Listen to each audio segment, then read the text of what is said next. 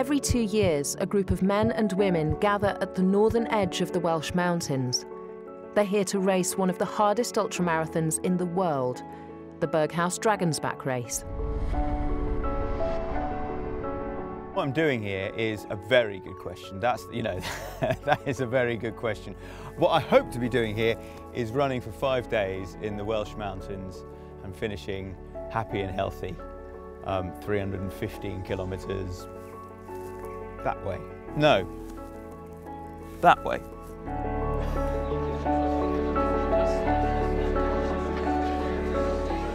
Buongiorno. Here we are in Galles, ready to start a new adventure.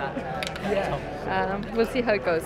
Uh, I hope to get to the end. I am quite nervous. no, I'm not really nervous yet. No. I'm just eager to start. Nerves 80, excitement 20, but um, but definitely excitement there as well. I can't wait to get up into the mountains and and just just be in the scenery.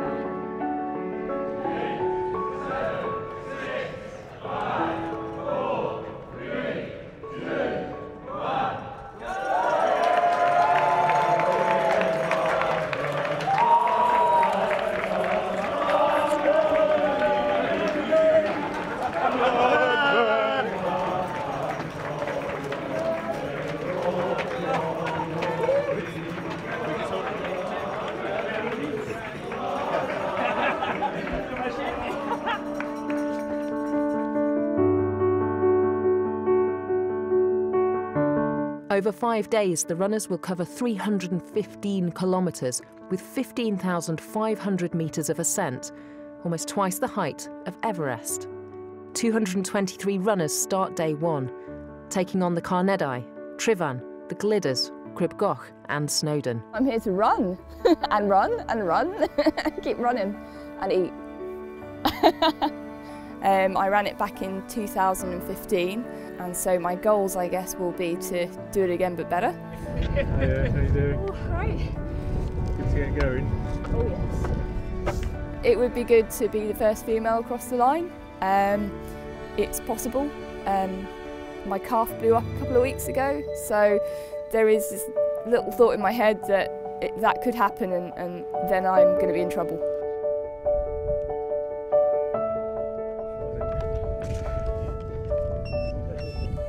Doing this morning? Good, up to now. But this is only checkpoint three. Off to four. I was here two years ago and I tried to uh, slay the dragon that time and um, I managed to uh, get injured so I had to come back. Unfinished business, yeah. Yeah, I like pain.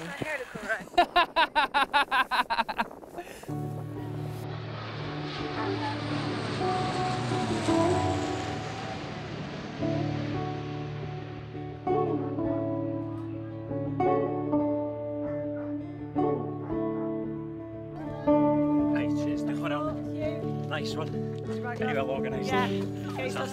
I fear I might have gone a little bit too quick down there. Once my fat carcass has got up the hill, it really wants to come down, so I'm struggling, holding it back on the downhills. It's hard, and it's, someone, it's in someone's nature. Just uh, you see someone going past, you want to keep up, don't you? But it's going to be that's what's going to ruin this race for me. If I carry on, I've got to slow down. That was great. As my uh, 13 year old daughter would say, that was lit, which I think means good. Every time you look up, it's just, it's jaw droppingly beautiful. And a lot of people have kind of run this day, especially, enough that they're kind of, they get, seem to be used to it. But I'm not, and so every time I look up, it's just, it, Wales unfolds underneath me, and you just sort of feel like you're, you're on top of the world. It's great. Not running this bit. oh, hilarious. You've had all day to think of that joke.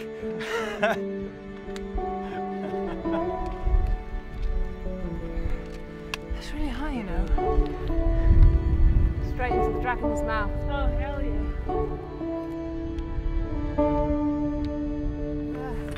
I shouldn't have come, but I wanted to go anyway. My state in my uh, red blood cells too low. The doctor said you shouldn't go. But but we come and it's beautiful. Going a bit blustery. It is, yeah, it's a little bit hairy up there. What about Crib Goch? Uh, yeah, could go will be fun, wouldn't it? I'll, uh, I'll just stay on the ridge this time, I think. Is it feeling like a nice warm up day? Yeah. Yeah, a few more hours and the legs will be ready. what I get out of running probably is endorphins. I'm so happy when I go running. I'm just happy. Life generally can be quite quite busy. When I'm running this event, I feel amazingly free and all I've got to do, life's very simple, all I've got to do is run. Get up, run, and I love it. With 40 kilometres run, the leaders reach the knife edge ridge of Crib Goch as the wind picks up and the clag comes down. How are we doing, Sabrina? I'm good, thank you, yeah. I've done all the training that I can, but that's not, you know, that's not ideal when you live in London and you, you know, you have a young family and you can't get to the mountains as often as you want. But I'm as fit as I've ever been and I'm pretty determined when the mood takes me. Johnny, Yes, how's it going? it's going fine, thank you. I will upgrade fine to brilliant once we're off Crib Goch. Honestly, I'm worried about the navigation aspect of it, but I will do my best. Got a posh watch. Although, my two-year-old took the charger out of my bag this morning and put it in her bed. Scared. Yeah, any words for us on Crib Goch? Cribgoch is like some sort of hell. How you doing? 2015 race winner Jim Mann powers his way to a day one lead. Other runners miss the mandatory cut-off time, marking the end of their race. In 9 hours, 27 minutes and 2 seconds, Sabrina Verjee is first woman over the line. Feeling good. Day one done. All was going well. Weather was all right. One of the hardest days I've had on a mountain, to be honest. It was bloody tough. Because I'm new to this stuff. You know, I'm a scrum half, not a bloody fella in there. So uh, I'll get there maybe eventually. I, I was faced with a wall. It was very well kept. But there was a river, an open river right there. So I just went for a swim tonight and just went straight down the down the river. So I hope that's not breaking the rules. He didn't. He didn't say anything that you couldn't go swimming. Ooh. Sort of looks like minced meat. Is that fresh, that toe? Yes, that's the dragon's back too. But it's okay. I think you're in quite good spirits. Yeah, I feel good.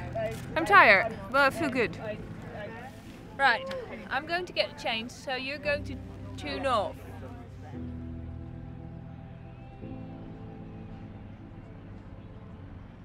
Sixteen hours after starting, some runners are still on the course. Did you hit the wall, Peter? I didn't hit the wall. Everything went wrong today. I got lost for two and a half hours. I couldn't find a checkpoint. I, I panicked basically. it never happened.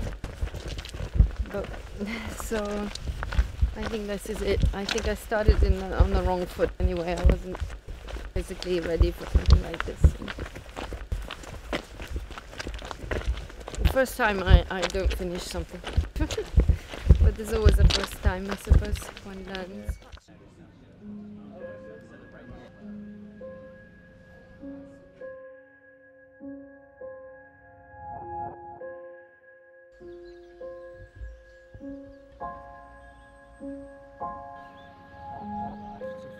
A long day in the Rhinogs today. Um, some, today and tomorrow are the, are the big days that get rid of get rid of people if you're going to finish. Most people who get through the next two days get through the whole lot. So it's uh, it's a big day. And we're off. Dragon's Back is really hard because it's lots of going up and down. You have to navigate yourself. Um, there's no path. You've got to think like a sheep, and it's you never know what you can expect. And um, for me, it's it's even harder because I'm from the Netherlands where it's completely flat. So I was training running up and down stairs and running up and down our hill, which is 25 meters.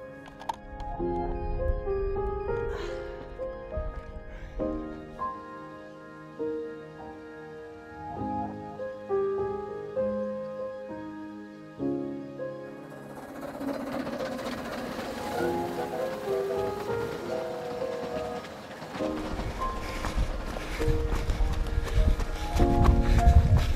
likes as long as that to get over this. They have them here.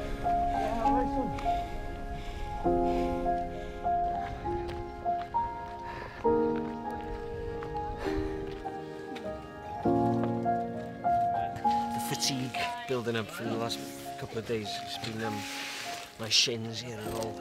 Feeling the strain of too many sausage rolls over the years, you know.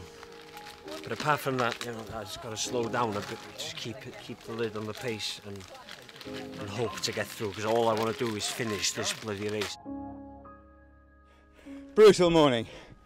I think I've been I've been found out. mountains, mountains one.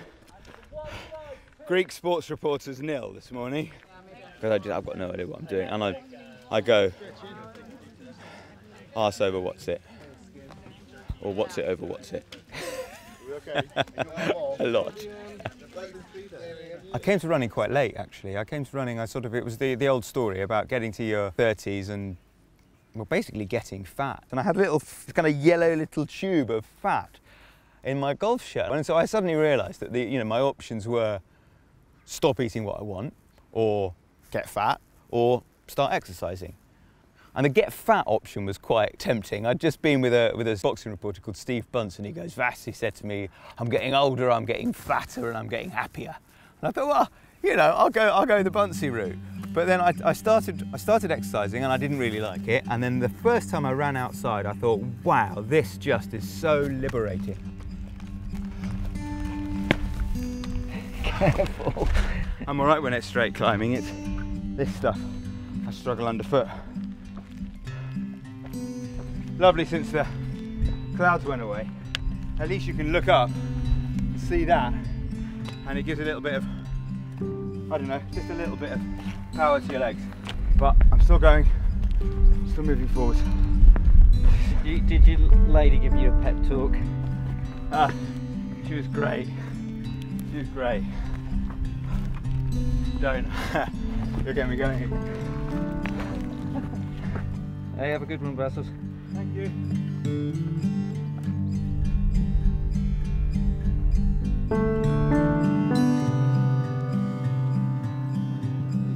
salty egg.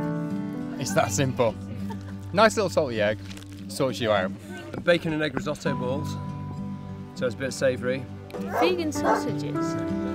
They're really good.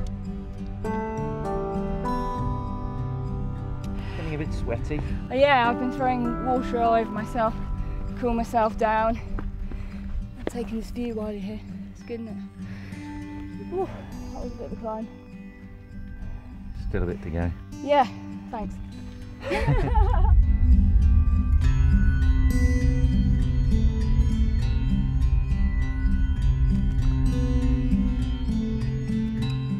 can think of things more fun than climbing a rhino.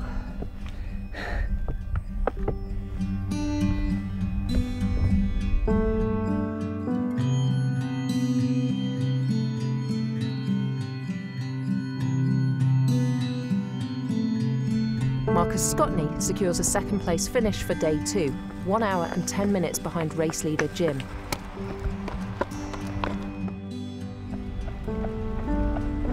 How was your day, Paula? Hi. Good. Yeah? Doing well? Yeah, still in good spirits. Looking forward to tomorrow.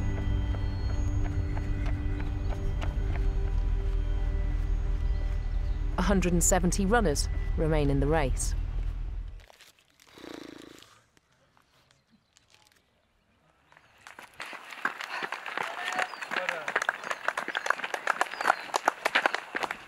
That's been a hard afternoon. Yeah, Carol's running really well. I could have done without her coming back at me. I took uh, 20 minutes out by the halfway, and then she, she's obviously come in before me, so You had a chase on your hands. oh my god, I didn't need that in this heat.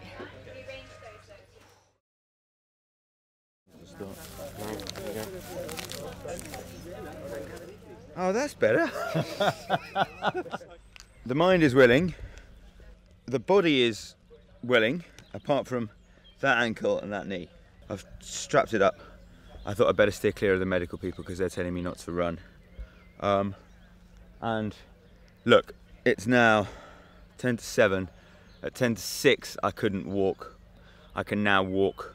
So let's assume that that improvement will continue and I'll be able to run soon. Good luck, buddy. Day three. At 71 kilometres, the longest leg of the race, through the remote and trackless hills of mid Wales.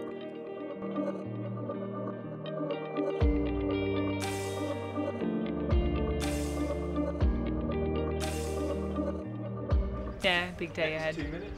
Hard one. Special one because I couldn't get past this one last time. So yeah, Okay, okay. So there's a, there's a morning news. will be interesting. Okay, brilliant. Let's see how far I get.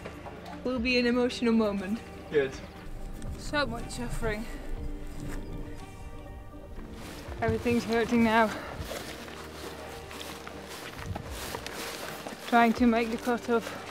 I know never gonna make it. My husband sent me uh, lyrics to Highway to Hell. What did that make you think? He's right. This is the highway to hell. It's not even a highway to. It's in the middle of.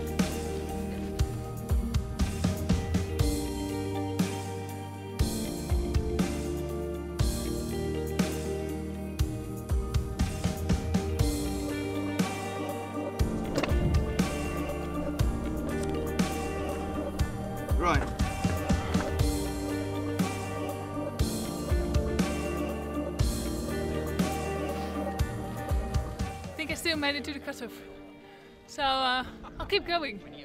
With plenty of time. Yeah. Oh, I need to sit down now.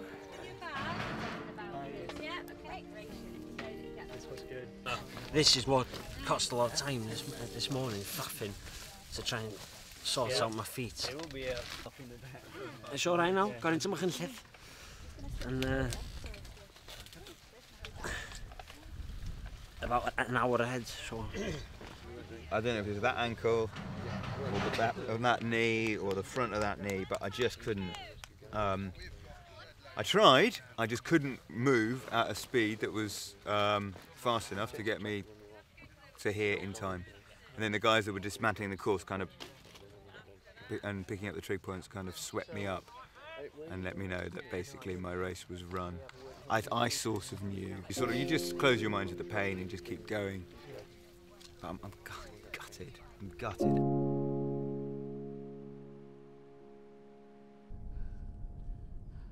I was just saying to the guys, you know, is there something quite kind of kind of special about this? You know, you're like, if you do a, do a 100 mile race, say, you know, you've got an aid station every five or ten miles, giving you a hug and a sandwich. Whereas here, you're given a, you know, where is it? You're given a map, and just go up into those mountains, and we'll see you this, this evening. I like that. I like that. You've got to be, you've got to be competent. I like that a lot.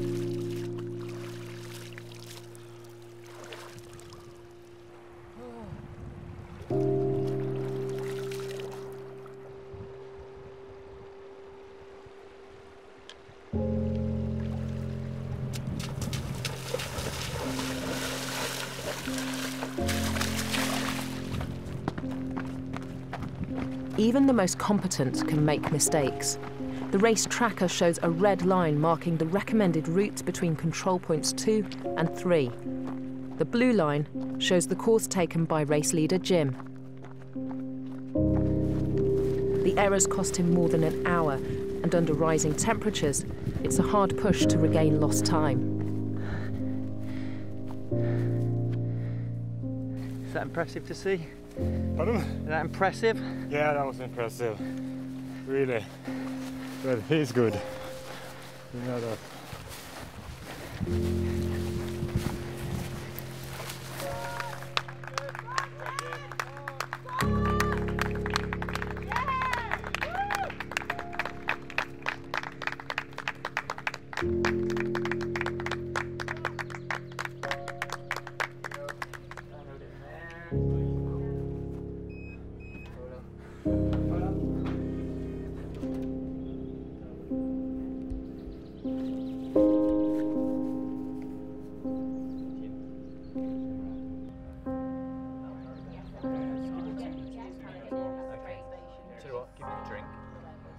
It's always always hard when you see any of the competitors come in and particularly when it's your friend. Harder seeing the emotional pain than the physical pain and Jim, like many of these people, has invested a lot emotionally to be here uh, in terms of training and commitment, etc.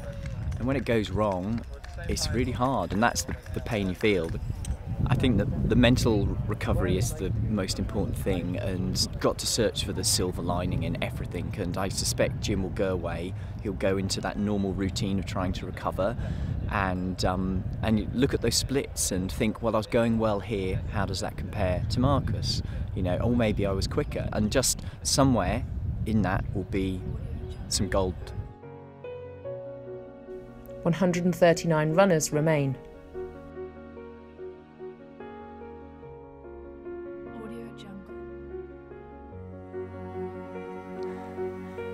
Putting them. Oh.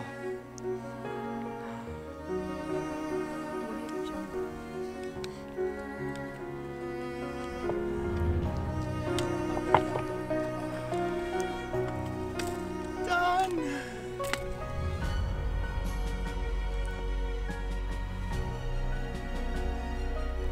Such a lovely day. Sea of cloud. Pretty much just a dragon sticking up above the cloud.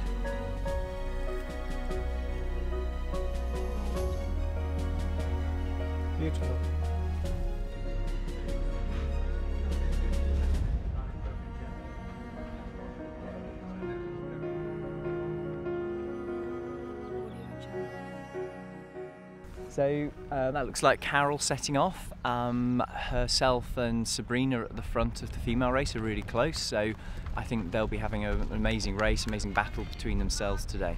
It's certainly the first time the race has been this close, and today will be fascinating. What's amazing with those stronger athletes is how quickly they recover.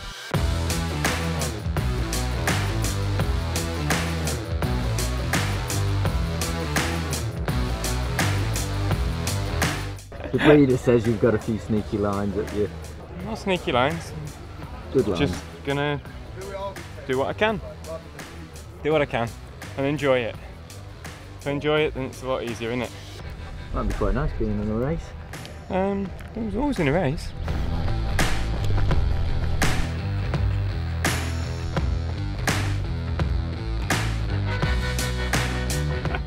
yeah, it's going to be a bit full on today, I think. Um, Jim's got kind of 25 minutes behind me, maybe a bit less. So I think it's going to be a bit of a full-on race today. But this is kind of what I was I was hoping for. It's disappointing that kind of Jim lost the time making some silly nav error, but it just adds to the racing.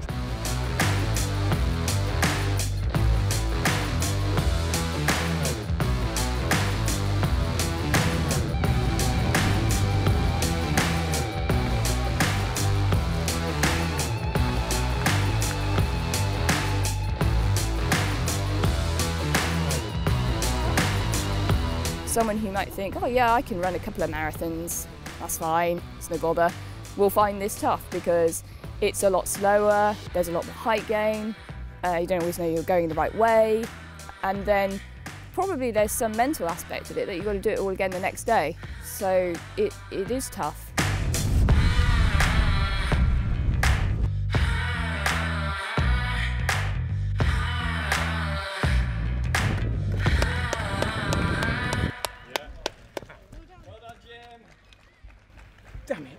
Seven hands. Excuse me, sorry. No, you're right. As in, do you know what? It's, I really like being on my own in the countryside, and there was opportunities today to do some interesting navigation, and it paid off. I mean, uh, I've been really slow today. I just couldn't hang on. There was just no chance. Of it. But I've managed to minimise the effect of that by taking some really good routes. So, yeah, I'm quite pleased. There'll be everything to play for tomorrow. but the problem with tomorrow, I don't, I don't think I'll have to have a look, but I don't think there's much route choice. And if there isn't, then uh, she's just quicker.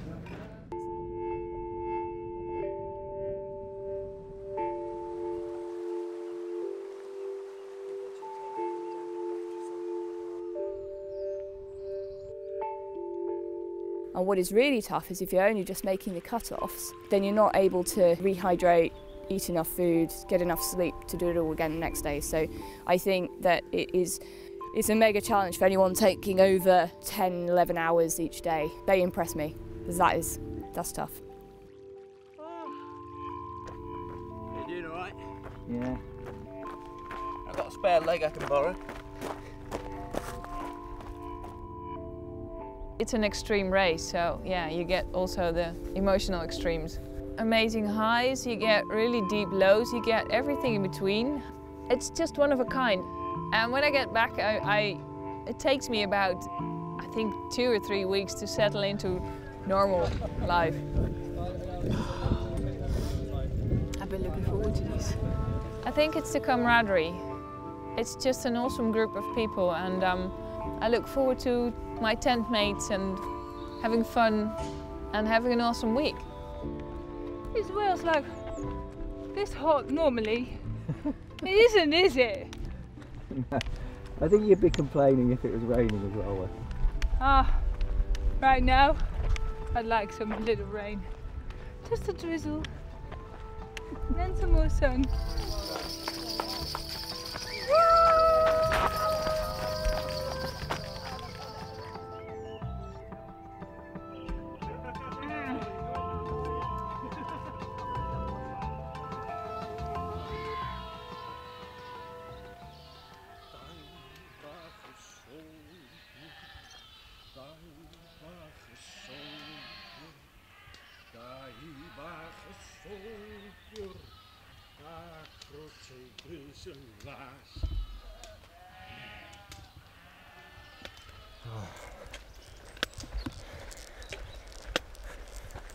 You've been to a dark place today. Uh, yeah. Flat out. Don't go that deep very often.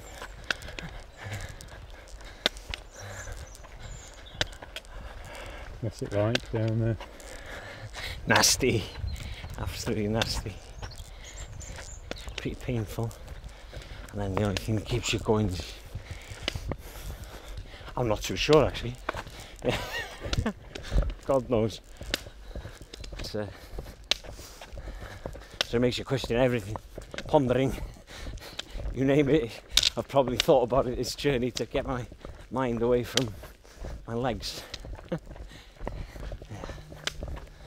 Before a rugby game, my mum used to turn to me and say, No, pasarán. I had no idea what it meant. No idea. But she was an Italian and French teacher, so I just took it, yeah. But it, it stuck. I still don't know what it means, but I just keep saying it over in my head, over and over. And it's no passa. Oh.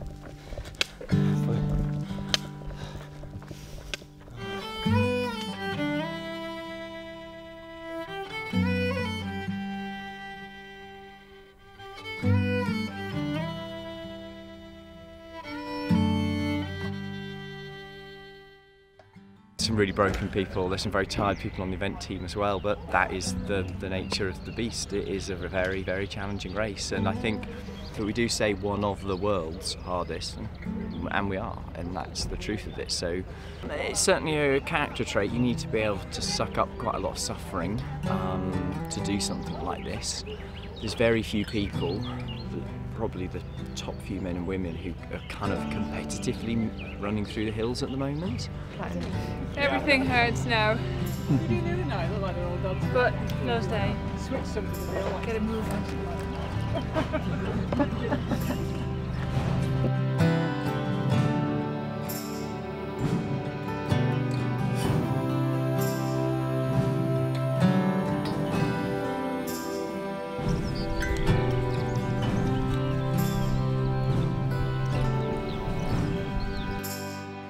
Despite racing more than 250 kilometres, just eight minutes separates leading men Marcus and Jim. There are seven minutes between the top two women, Sabrina and Carol. A chasing start where runners are sent off according to the time they have to make up means the first over the finish line wins. Do you get nervous or something like that? Um, I thought probably not, but then I'm, I'm a bit like, maybe I am a bit. don't know. I'm trying not to think about it.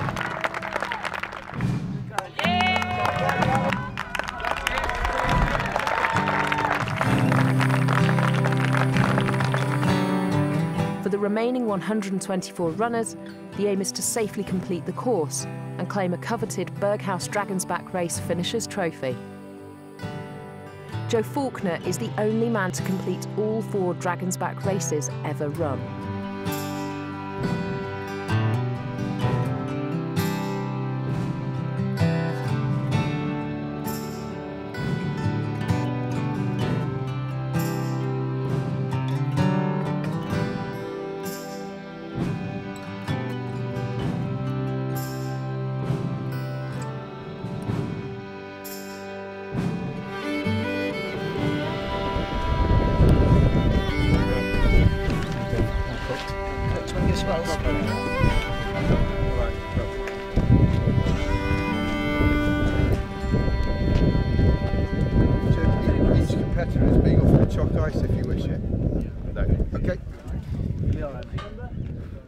Just heading home now, that's it.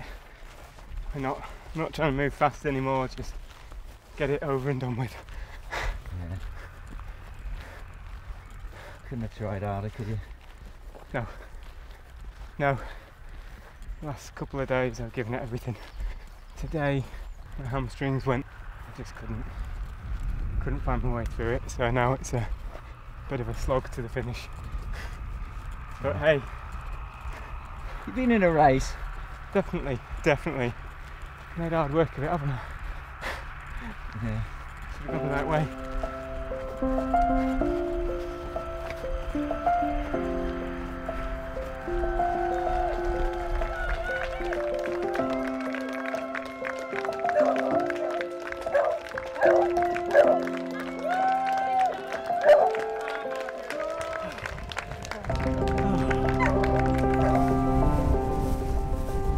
Ladies, the crunch point is between controls 5 and 6.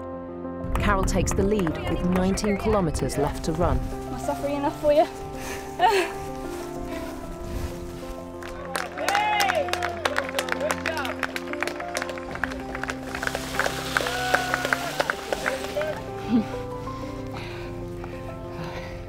Nicer to walk, enjoy. Yeah, you've given it, given it everything. Then. Yeah, yeah. The end of the day, yeah, definitely. It's a shame because my legs and feet are all fine, quite comfortably doing another five days, but I just can't breathe, so I can't push it. Uh, no. Uh, everyone's got their own issues, haven't they? Mine is I've got a lung issue, so you know, just got to accept who you are. Can't do anything about that. Nice to finish though. And hopefully, an ice cream at the end. That would be nice. So if you get there before me, if anyone's waiting there for me, they can buy me an ice cream. Strawberry. That would be lovely.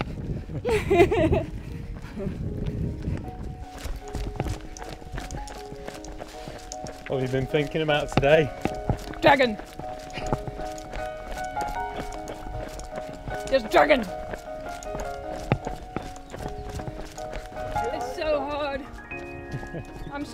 So going to cry. In just a few seconds, I think. So nearly there. Oh, good. That's so good to know.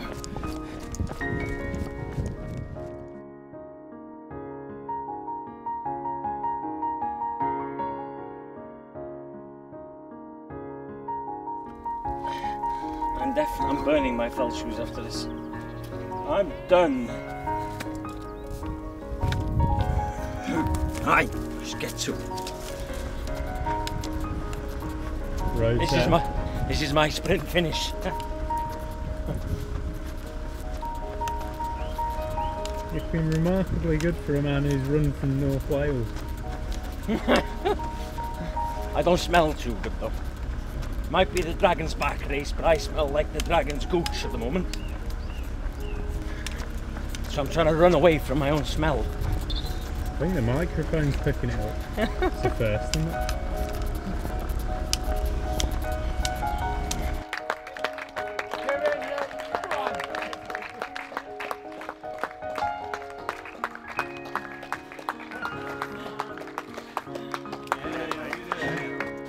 strong man.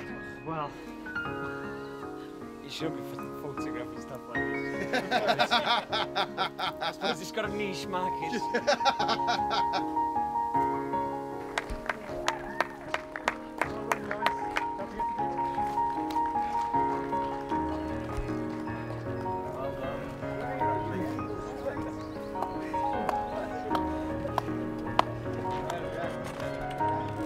done, honey.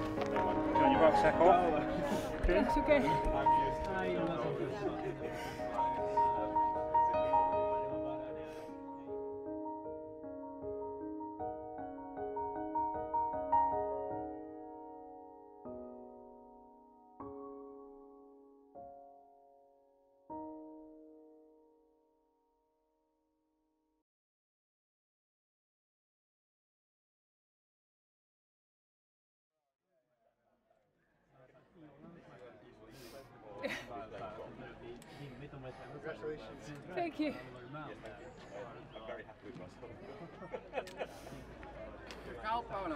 Gefeliciteerd.